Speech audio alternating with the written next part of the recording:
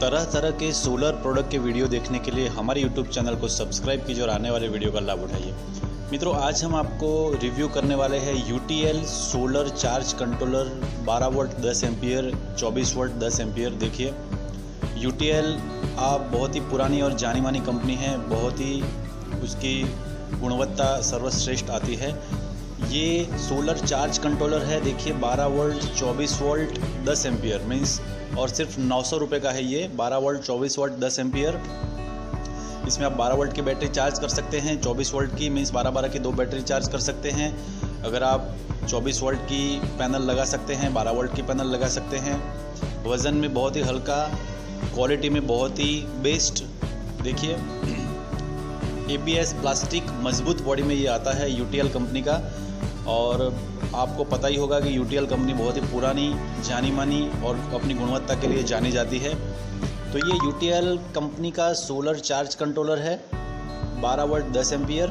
अगर आप 12 वोल्ट की पैनल लगाते हो, अगर आप 12 वोल्ट की पैनल लगाते हो तो देखिए इसमें सब कुछ लिखा हुआ आता है। एक वोल्ट का एक पैनल लगा सकते हैं आप और 300 वोल्ट का एक लगा सकते हैं 24 वोल्ट में। इसका कनेक्शन कैसे करना है, ये सारा इस कैटलॉग में है। देखिए सोलर चार्ज कंट्रोलर।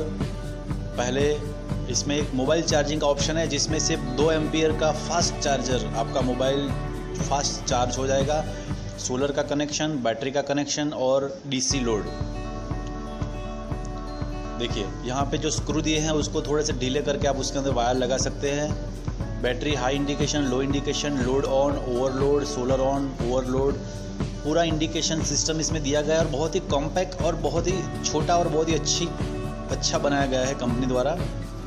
तो यहाँ से आपको जब स्क्रू ढीले करेंगे तो नीचे से आपको वायर लगा देना है। सबसे पहले बैटरी के लगाइए, उसके बाद लोड के लगाइए, अंत में सोलर पैनल के लगाइए।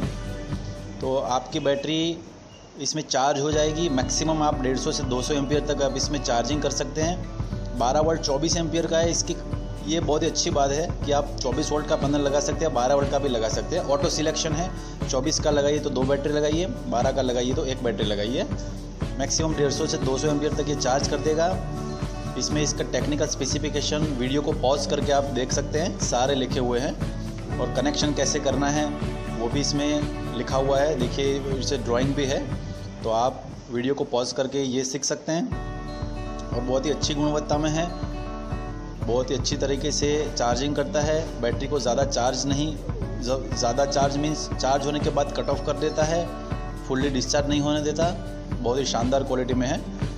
तो आशा रखते हैं कि ये वीडियो आपको पसंद आया होगा तो इसे लाइक करें शेयर करें। और ऐसे ही नए नए वीडियो देखने के लिए हमारे यूट्यूब चैनल को सब्सक्राइब कर दीजिए। नीचे दिए गए लाल बटन को क्लिक करके। तो आने वाले सभी वीडियो आपको देखने को मिलेंगे।